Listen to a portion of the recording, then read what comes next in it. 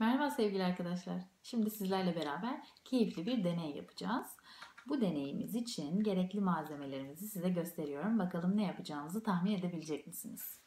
Suya ihtiyacım var. Pamuk, plastik bir kabım var ve fasulye. Evet, görünce tahmin ettiniz değil mi? Fasulye çimlendireceğiz. Şimdi bunun için önce kabımı önüme aldım.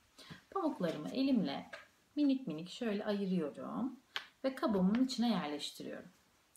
Elimle ayırıyorum çünkü çok kalın olmasını istemiyorum. Şöyle pamuklarınızı elinizle aça aça kabınıza yerleştirin. Tamam mı? Kabıma zeminini dolduruyorum. Her yerine pamuk gelsin.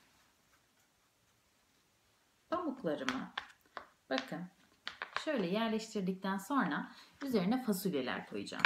Aldım fasulyelerimi. Birbirine çok yakın olmasını istemiyorum. O yüzden şöyle ayrı ayrı koyacağım. Bakın yerleştiriyorum.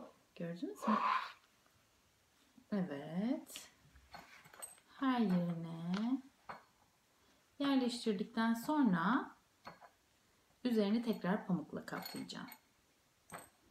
Bakın. Şimdi üzerine tekrar aynı şekilde böyle açarak pamuklar koyuyorum. Çok kalın olmaması gerekiyor. Sonra her gün fasulyelerimi gözlemleyeceğim. Acaba kaç gün sonra fasulyelerim çimlenecek?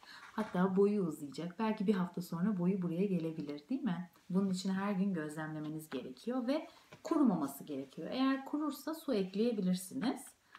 Bunun için odanızda her gün göreceğiniz gözünüzün önünüzde gözünüzün önünde bir yerde olsun ve her gün gözlemleyin. Bakalım fasulyeleriniz ne zaman çimlenecek, boyu ne kadar uzayacak. Sonra paylaşırız birbirimizle tamam mı?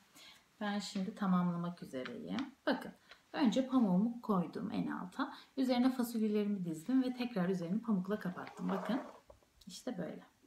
Şimdi üzerine su döküyorum.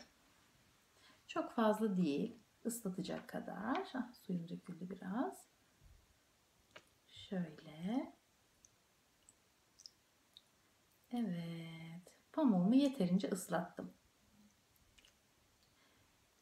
Şimdi şöyle birazcık daha ıslanmayan yerlerine elimle dokundum. Bakın pamuğum ve fasulyelerim ıslandı. Şimdi sıra gözlem yapma zamanı. Her gün gözlemleyelim ve kaç günde çimlendiğine, boyunun ne kadar uzadığına bakalım tamam mı? Hadi bakalım kolay gelsin.